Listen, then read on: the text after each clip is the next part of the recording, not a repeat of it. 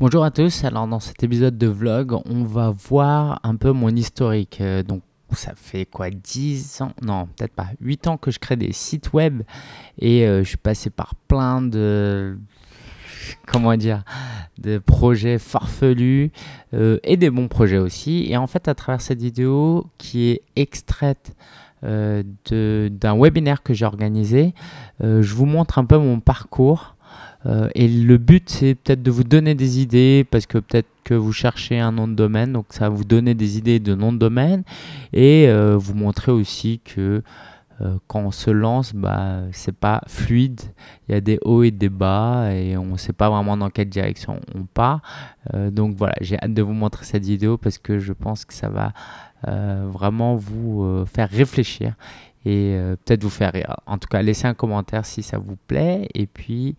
Euh, bon visionnage à tous. J'aimerais vous présenter un peu mon historique. Alors pourquoi euh, vous raconter mon historique? Parce qu'en fait, euh, ça va vous donner des idées, ça va vous faire réfléchir, j'en suis certain. Je vais vous donner une liste de 10 noms de domaines que j'ai pris et qui va vous faire réfléchir sur, sur plusieurs aspects comme, alors, on me dit que Kader ne m'entend pas. Je vais pas pouvoir faire grand chose là, mais en tout cas, les autres entendent. Donc, peut-être connecte-toi sur ton navigateur en essayant euh, Chrome. OK? En même temps, tu m'entends pas. Euh, Kader, essaye. OK. Alors, on commence par mon historique. Euh, mon tout, tout, tout premier blog, c'était Web-Wonders. En gros, j'étais à Shanghai lors d'un stage. Euh, je découvrais toutes les merveilles qu'offrait le web et je me suis dit, euh, bah, je suis passionné par le web, par les merveilles du web, euh, d'où Web Wonders. Wonders, ça veut dire merveilles en anglais. Alors déjà, on voit tout de suite plusieurs soucis dans, dans ce nom de domaine. il est en anglais alors que mon, mon contenu était en français. Euh, wonders, tout le monde n'est pas censé comprendre. C'est pas comme si j'avais employé un terme anglais comme euh, pas comme week-end, même si c'est français maintenant. Euh, voilà, je Wonders, personne ne comprend. En plus, c'est un point .fr. J'aurais pu aller jusqu'au bout et prendre un point .com. Mais voilà, webwonders.fr, c'est bizarre. Le tiret n'est pas beau. Bref, personne a tapé Web Wonders très rarement, je pense, à part moi-même. Donc, c'est aussi c'était pas un superbe URL, mais au moins j'ai tenté, j'ai commencé et c'est ce que je vous recommande. Surtout à la fin de ce webinaire, si vous n'avez pas trouvé votre nom de domaine, ne vous découragez surtout, surtout, surtout pas. Euh, lancez-vous. OK, un nom de domaine aujourd'hui, vous allez voir, c'est 10 euros par an. Euh, ça ne vous engage à rien. Vous pouvez résilier après une première année. Par contre, le gain que vous allez avoir à lancer un blog imparfait avec un nom de domaine imparfait et vous allez vous former, vous former, ça va être énorme. OK? Et quand vous allez lancer votre vrai blog, euh, votre bon blog, euh, vous allez être certainement très, très satisfait. Donc, partez même sur de mauvaises bases, c'est pas comme si vous ouvriez une boutique dans une mauvaise rue à Paris. OK? Deuxième euh, exemple que j'aimerais vous donner, alors, c'est forhimblog.fr. Alors, il y avait un magazine euh, avant, c'était FHM, OK euh, Ouais, c'est un magazine pour les hommes. Et je voulais, et donc FHM, ça voulait dire For Him Magazine. Je voulais jouer sur ça, c'est For Him Blog donc ça fait un peu cheesy, je vous expliquerai. Mais au moins, c'est clair. For him blog et .fr, ça indiquait que c'était en français. Okay. Bon, c'était pas si mauvais que ça. Euh, c'était un blog de développement personnel euh, en français que j'ai revendu depuis. Euh, autre. Alors après, je suis passé à Esprit Vif. Pourquoi Esprit Vif? Alors, j'ai toujours pensé que voilà, j'avais un esprit plutôt vif et il se trouve que mon prénom euh, Lingen est composé de Ling et Ling signifie esprit vif. Et je me suis dit, en plus, donc après avoir revendu For Him Blog, je voulais relancer un blog sur le dev perso pour les hommes. Je me suis dit, voilà, pour les hommes, c'est important d'avoir un esprit vif. Et franchement, c'était pas mal. Espritvif.com, euh, voilà, ça marque euh, les esprits. J'en étais assez fier. Vous pouvez toujours aller voir sur le, sur le blog. Hein. Il n'y a pas grand-chose. Euh, quoi, J'ai presque rien publié dernièrement, mais vous pourrez y retrouver des, des articles rigolos. Euh, Sia.fr. C'est mon nom de famille. Donc, je me suis dit, bah, tiens, je vais le réserver plutôt que quelqu'un un jour euh, me le pique. Euh, et puis, j'en ferai un blog perso. Alors, pour être totalement transparent, Sia.fr, je l'avais réservé. Et en fait, mon blog avant s'appelait Web Marketing Décortiqué. Donc, le blog s'appelait Web Marketing Décortiqué. Il y avait un logo, logo Web Marketing Décortiqué, mais c'était sur Sia.fr. C'était très, très bizarre. Euh, mais voilà, j'avais décidé de fonctionner comme ça. Et depuis maintenant, je, j'utilise Sia.fr pour un blog perso où je raconte tout et n'importe quoi. Puis je suis passé à vivre de son blog.com après web marketing décortiqué où je voulais vraiment décortiquer des techniques marketing que j'apprenais, euh, que j'utilisais quand j'étais en stage. Là, j'avais arrêté mon stage, je suis revenu en France. Je me suis dit, bah moi, mon message c'est de vivre de son blog. Du coup, je vais prendre un nom de domaine, vivre de son blog. Il est disponible en .com, il n'y a pas de tiret. C'est génial. En plus, en termes de référencement, à l'époque, et j'insiste, à l'époque, c'était très, très important d'avoir un nom de domaine euh, qui corresponde aux, mots-clés pour lesquels je voulais que les gens me trouvent. L'idée, c'était que quand quelqu'un tapait vivre de son blog sur Google, il tombe sur mon site parce que Google va mettre mon site en avant vu que j'ai ce nom de domaine qui correspond à sa requête. J'espère que j'ai perdu personne. Donc voilà, c'était intelligent, mais euh, vous verrez après que j'ai changé. J'ai voulu lancer un blog sur euh, les produits Apple, quoi. Je l'ai lancé. Aujourd'hui, il n'existe plus, mais il y a toujours la chaîne YouTube. Euh, vous verrez, ça peut, c'est assez marrant si vous voulez vous détendre. donc Apple Geek, j'en étais assez fier. Alors comment je l'ai trouvé? J'étais au McDo avec un ami et je lui avais dit Est-ce que je prends Apple Geek ou Apple Fan? .fr, un truc comme ça. Et il m'a dit non, Apple Geek, et je le sentais mieux. Et puis voilà, je suis parti sur Apple Geek. Pareil, le .com n'était pas disponible comme Christelle. Hein, J'avais un peu de mal à, trouver les .com. Euh, visiter Taiwan.com. Donc, euh, tous les ans, euh, à l'époque, j'allais avec mon père à Taïwan.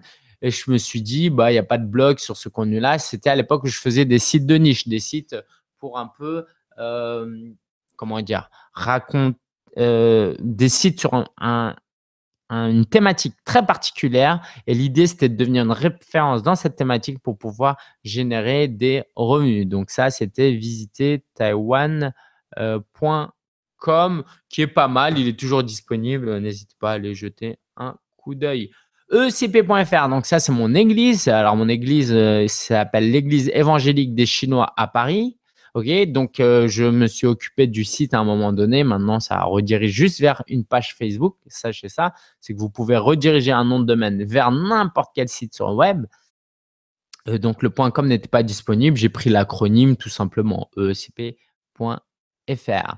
Euh, Autoécoleparis.org, pareil, un site de niche. Alors là, à ce moment-là, c'était vraiment à l'époque, la même époque de vivre de son blog.com où fallait avoir un nom de domaine avec les mots de clés. Et moi, je voulais créer un site de niche qui reprenne les mots auto-école et Paris parce que c'était très prisé. Et euh, j'en ai fait un annuaire que j'ai jamais terminé d'ailleurs sur les auto-écoles à Paris. Et comme le .com.fr n'était pas disponible et que j'étais très satisfait d'avoir auto-école Paris tout attaché, j'ai pris en .org. Alors, je vais prendre un petit temps pour répondre à quelques questions pour pas qu'on s'y perde. Euh, les hum, déjà pris ah, attention nom de famille déjà pris pour un blog perso sur un autre thème. Donc on verra que euh, le nom de domaine est déjà pris, c'est sûr, c'est très probable, mais on peut jouer sur le nom de famille autour. On peut l'entourer de son prénom, par exemple. On va voir ça après. Euh, ok. Les tirets peuvent être gênants pour le référencement pour que les gens retiennent bien. Alors les tirets, c'est pas gênant pour le référencement. OK? Et on verra après que c'est pas important, c'est pas notre préoccupation. Et pour que les gens retiennent bien, c'est surtout ça. C'est après, bah voilà, tu comprends bien que quand tu tapes surtout sur ton mobile aujourd'hui, web, tiret, le tiret, faut appeler sur, aller sur les symboles et tout, c'est une galère, pas possible. En plus, quand vous communiquez, vous allez à un salon, un événement, vous lui dites mon blog c'est web-wonders-francophone.com. Voilà, ça perd les gens webwonders.fr, ça aurait été top. Webwonders.com, ça aurait été euh, top. Euh, L'URL de la chaîne YouTube Apple Geek dans le chat. Alors oui. Euh, alors, est-ce que je peux mettre ma chaîne? Il y en a qui veulent se détendre avec. Alors, j'ai sur ma chaîne Apple Geek, j'ai j'ai eu des gens qui m'ont charrié parce que j'apprenais, j'utilisais Siri, je l'utilisais mal et tout. Les gens sont violents quand même. Donc vous verrez, lisez les commentaires. Mais alors, le sujet sera disponible en rediffusion Kader. Kader, oui, il y aura une rediff. Ok, on avance. On avance, c'est quoi le prochain? Parisenfamille.com, ça j'en suis très très très très fier. Donc c'est un blog que je, voulais, j'ai lancé avec mon neveu pour euh, parler des sorties en famille euh, à Paris. Donc franchement c'est peut-être l'un de mes meilleurs noms de domaine. J'en suis extrêmement fier. Euh, Solopreneur.fr. Alors, je suis sorti de la thématique vive de son blog.com. Et là, j'ai une leçon pour vous aussi, c'est que essayez de vous, de vous imaginer pas dans six mois ou un an, mais dans deux ans, trois ans, quatre ans. Est-ce que toute ma vie, je veux euh, porter un t-shirt vive de son blog.com Est-ce que quand je me présente, je dis, je m'appelle Lingentia de vive de son blog.com Ça fait un peu, euh, voilà, j'essaye de me vendre et, en plus, euh, c'était un moment où la thématique de, gagner de l'argent avec un blog était compliquée. Et puis, dans le fond, moi, ce que j'enseigne, c'est pas de vivre de son blog, mais c'est d'utiliser son blog pour vivre de sa passion. OK, être vraiment complet. Euh, donc là, c'était un peu opportuniste et je vous invite à faire attention à ça, à pas essayer d'être juste opportuniste, mais à trouver une marque qui peut vous accompagner durant des euh, années. Euh, quoi d'autre? Apprendre point photo. Alors là, c'est la fête avec les nouvelles extensions. Donc aujourd'hui, à la place des .com ou des .fr ou des .org, savez-vous qu'on peut mettre des points photo, Et moi, je me suis dit, je vais en faire des sites de niche, je vais essayer de gagner de l'argent avec et je peux acheter ces noms de domaine pour les revendre. Ce n'est pas l'objet d'aujourd'hui, sauf si vous me posez vraiment la question. Et donc, j'ai acheté apprendre.photo, apprendre.tennis dans le but qu'un jour, euh, un blogueur de tennis euh, ou euh, un site, une agence de photos me dise, voilà, ton, ton nom de domaine, je veux l'acheter 1000 euros, 2000 euros. Alors, sachez que ces extensions, comme c'est nouveau, ça coûte très cher, c'est de l'ordre de 30 euros par mois. J'en ai même viré, j'avais un moment Paris, mais euh, ça ne servait à rien, je ne l'utilisais pas trop, ça me coûtait 50 euros par mois. Autre exemple, duopreneur.fr, donc euh, avec ma, plus ma fiancée, ma femme maintenant, euh, j'ai lancé, donc il y avait solopreneur, où l'idée c'est d'entreprendre en solo, et duopreneur, c'est l'idée d'entreprendre en duo, donc dans le cadre du mariage ou d'un couple, et entreprendre dans tous les aspects de sa vie. Vous pouvez y aller à trois épisodes de podcast. Comme vous pouvez voir, j'aime beaucoup lancer les projets. Les terminer, c'est un peu plus compliqué parce que je manque de temps, mais euh, j'ai plein d'idées et je m'éclate. Christelle aussi, un peu comme ça, je sais. Découvrir alsace.com. Alors, j'ai enlevé tous les articles. Euh, il y avait, en fait, c'était notre site de mariage. Euh, c'est un site où on donnait des détails de où se trouvait notre mariage avec des coins visités, etc. Euh, du coup, je voulais pas faire un site lingenetmarina.com, un, une URL qu'on aurait jeté au bout après le mariage. Je me suis dit, on va investir sur un nom de domaine qu'on va pouvoir garder pour faire un site de niche. L'idée, quoi, sachez qu'un nom de domaine, plus il est ancien, plus il est utilisé depuis longtemps, mieux il sera référencé sur Google et plus il prend de la valeur. C'est comme du bon vin, voilà. Plus donc, plus vous avez un nom de domaine depuis longtemps, plus il a de la valeur sur le marché. Ok? Euh, et puis pour terminer, le guide du blogueur, donc mon livre. Alors ça, c'était un peu galère. Fallait que je trouve. Je voulais un site dédié pour mon livre. Je voulais pas envoyer les gens sur solopreneur.fr slash abc-efg-voilà.com. Et donc euh, LGDB, ça faisait un peu LGBT, euh, le mouvement LGBT, ouais, le mouvement gay, lesbien, et c'est pas du tout le sujet du livre.